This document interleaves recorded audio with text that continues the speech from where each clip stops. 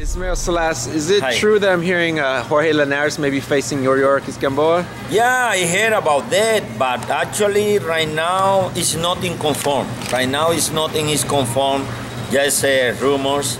Uh, I heard uh, Pepe Gomez and Oscar de la Hoya yesterday. They introduced to the public uh, the news, you know, the Yeah. possibility. But actually, I, I, I know work with Jorge Linares.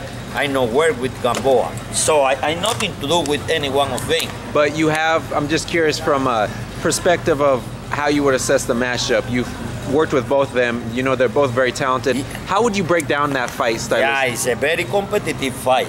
You know, and very challenging. I can I can tell you, very challenging fight for both of them, because both of them they have a very powerful punch. One punch KO can be for any any of the side either way.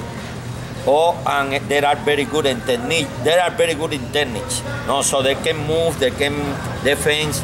So uh, they've been coming down to the same uh, boxing school. So, so it's a little complicated.